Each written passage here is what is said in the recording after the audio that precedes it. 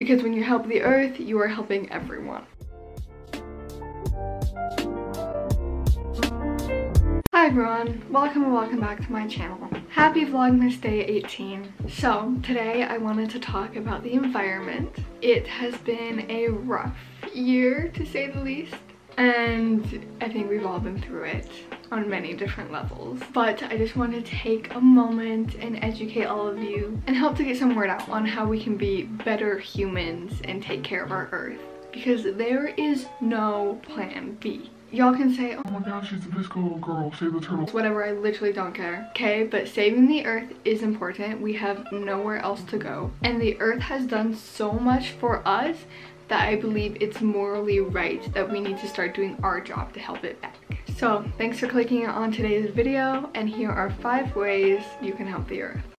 Number one, I feel like everyone has heard this by now, but it is by using reusable products. I'm talking about straws, utensils, plates, bags, so many different things. Studies have shown that in just the US alone, we use 500 million straws a day. And another study showed that 8.3 billion plastic straws pollute the beaches all over the world. 1 million seabirds and 100 thousand marine mammals are killed annually from this pollution. Y'all, this is not okay. We need to step up. So even just by buying a $5 straw off of Amazon or SandCloud or Four Oceans or going to Target, I'm sure you can find one at Target, you are doing the earth such a greatness. It might seem like just you doing it isn't gonna help, but in the long run, it will. I understand that not everyone wants to have to wash something. So when you buy bamboo, it's more eco-friendly because so much bamboo grows a year and it's much easier to produce and it doesn't harm the environment as bad. So if you still are wanting to not use reusable things, you can at least shift over to bamboo. And along with reusing bags, there are so many cute reusable bags you can be using for things like groceries instead of getting a new plastic one every time you go to Target or Trader Joe's. And you can just keep it in the back of your car. Like it's so easy. So please consider this. The second thing is electric cars or hybrid cars. I know not everyone can afford to just switch over to a luxury vehicle, but if you have the money, if you're making a car change, I beg you to consider switching over to electric cars. Motor vehicles collectively cause 75% of carbon monoxide pollution just in the US, which is not okay. Why electric cars help is because they produce less greenhouse gases and air pollutants, which means making the switch to an electric car is helping the atmosphere overall. Please consider it.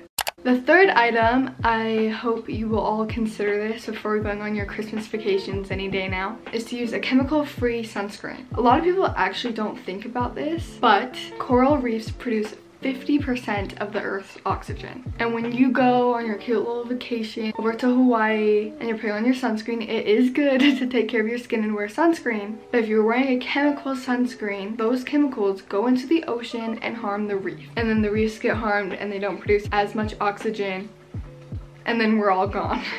So it is so important that you are using chemical-free sunscreens. Even if you're someone who wears it on a daily basis, please, please, please be using chemical-free sunscreen. You can find them literally anywhere, just Amazon it or Skincare by Hyram probably has a good recommendation. So if you're making a new skincare routine or anything right now, if you're about to go on a fun little trip, please do your research and find a chemical-free sunscreen.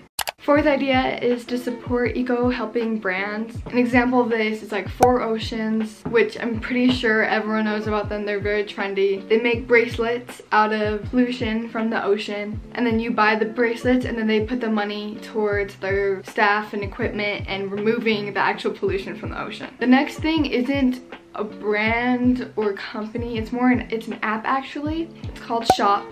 Shop is an app that helps you track your orders from other brands and companies and websites. But the cool thing about Shop is that they plant trees every time you order something using them. That they're like balancing the scales by planting a tree every time you order something. I hope that makes sense Shop is amazing. They have planted over 85 million trees. I use this app. Not all websites offer you to pay through Shop, but whenever they do, I definitely will use it. I tell my friends about this app. I tell my family about it. It's amazing. I truly hope you all download it, especially for my shopaholics out there. But for those who shop a lot, you could have a huge impact on the environment just by downloading this app and using it when you check out. So please consider this. I will have a link down below as well. And the fifth and final way you can help the environment is by switching over to Audible instead of buying real books. Paper comes from trees, everyone knows that, and we need the trees to stay in the ground.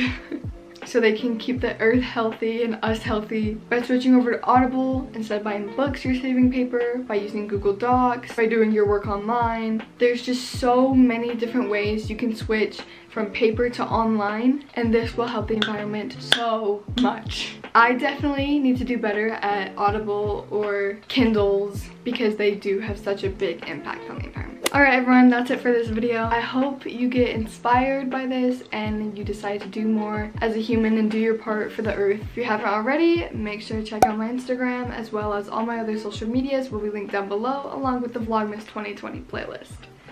I love you all so much and I'll see you tomorrow. Bye.